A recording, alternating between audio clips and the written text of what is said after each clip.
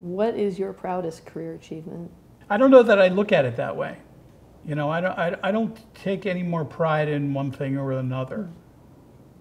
I, uh,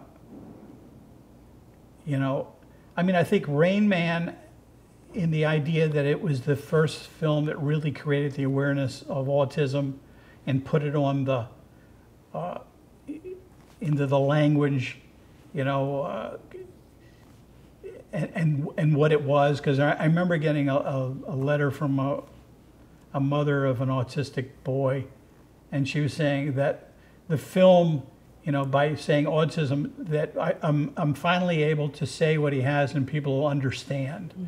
Because I was always trying to explain his condition and I never could explain it and no one understood. And that the, mo- the, the film defined that.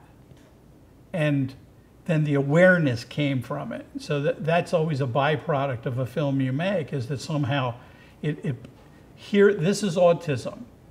This is what it is. And to the to the mothers and the fathers, you know, uh, to the brothers and the sisters of an autistic, you know, you know, kid, it, it's now clear. Where before, you know, it was sort of ill-defined in a way. And so the awareness that came from it, you know, but you, you can't predict any of those things. Right. You, you can certainly say, I'm, I'm glad that happened, but you, you, you can't aim for that. All you can do is try to hold somebody's attention for X number of hours and try to take them on some kind of a journey. Uh, that's the best you can do. Do you have any career regrets?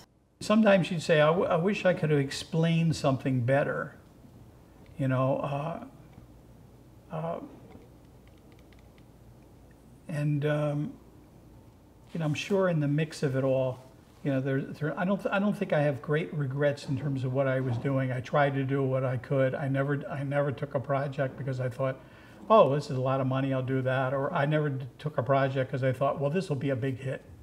You know, I mean, there's no way you're going to do Rain Man and say, oh yeah, this will be a big hit. I'm going to make a lot of money off of this story about autism on the road. Um, you know, or, you know, look, I was told, you know, don't make Good Morning Vietnam because, you know, Robin is the kiss of death, you know, he can't make it as a feature actor, you know, so, but, you know, you're going to win some battles and you're going to lose some of those battles and you're going to be right and you're going to be wrong. Hmm. And nothing can change that. You know, that's just, that's just part of it because there's, I don't know how else you do it, you know, it's a, it, it, you can put in all the safeguards you want to, to suddenly be a success, and it still may fail. And so the only thing you rely on is what is it that'll motivate me to want to work and give a, you know, in a feature like a year of your life or six months for, you know, to, to set up a pilot and do all that, et cetera. Uh, what is it that motivates you enough to spend that much time and interest if you didn't really care? Right. We have one last question. Yep. We ask all of our interviewees, how would you like to be remembered? You know,